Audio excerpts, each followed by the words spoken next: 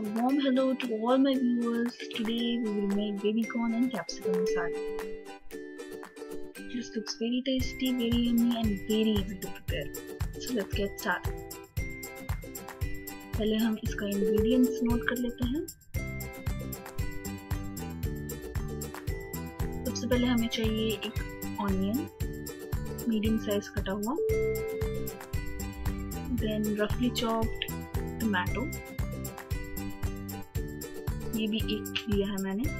फिर मैंने लिया है एक कैप्सिकम ये भी है रफली chopped medium size and then the star of the dish, baby corn I have taken around 100 gram of baby corn और उसको अच्छे से बॉईल कर लिया है। और इस तरह मैंने मीडियम साइज़ काट लिया है।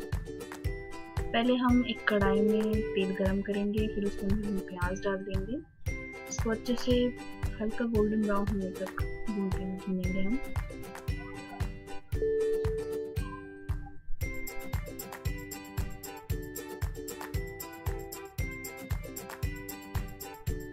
प्याज पक रहा है, तब तक हम चाहे तो बाकी सब्ज़ियाँ वगैरह इकट्ठा कर लें। ये हल्का गोल्डन ब्राउन हो चुका है। सो अब हम इसमें क्या वाली तेल डालेंगे, लगभग एक चम्मच। इसको अच्छे से भून लेंगे मसाले को। लगभग दो मिनट तक।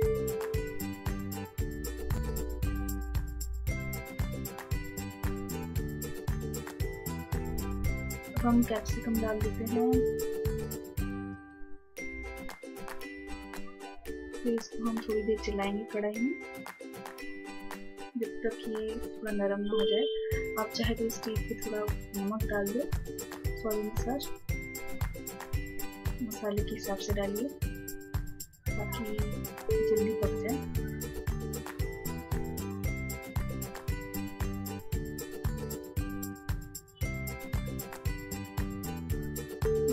लगभग छोटा चम्मच नमक डाला है थोड़ा एक छोटा चम्मच।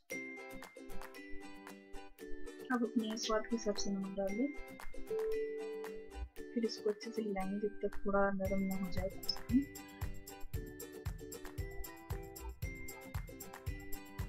हमने चॉप टोमेटो डाल दिया है। इसको अब हम अच्छे से भून लेंगे। टोमेटो को भी आप स्टेज पे थोड़ा सा नमक डाल के नरम कर सकते हैं, या चाहे तो आप कवर करके भी नरम कर सकते हैं। ताकि हमारी सब्ज़ियाँ जल्दी पक जाए। आप अगर सुबह सुबह ये बना रहे हो नाश्ते के लिए सो आप तब ये कर सकते हैं।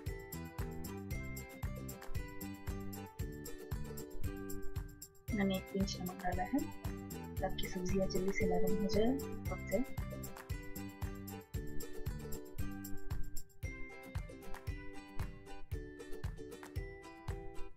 तो हम सारे मसाले डाल देंगे यहाँ मैंने डाला है एक टीस्पून जीरा पाउडर।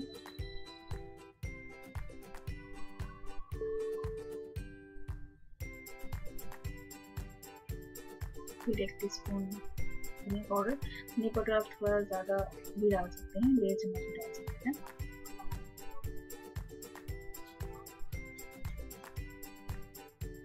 फिर मैंने थोड़ा सा हल्दी डाला है।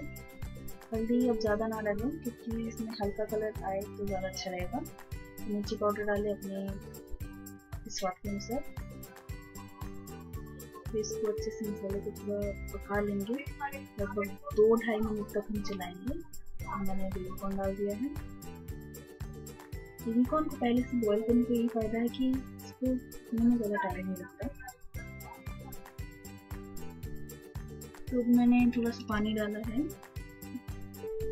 आप चाहे तो इस वक्त इसको ढक के पका सकते हैं या फिर मीडियम आँच में भी इसको तो लगातार हिलाते भी जा सकते हैं। क्योंकि बेबी को हमारे पहले से बॉयल है तो में ज़्यादा टाइम नहीं लगेगा मैंने इसको लगभग पाँच मिनट के करीब चलाया है, फिर अच्छे से पका लिया। अब मैं इसके ऊपर से गर्म मसाला डाल रही हूँ। तो लीजिए दोस्तों, बेबीकॉर्न कैप्सिकम मसाला तैयार है। खाइए अपने दोस्तों और फैमिली मेंबर्स को खिलाइए।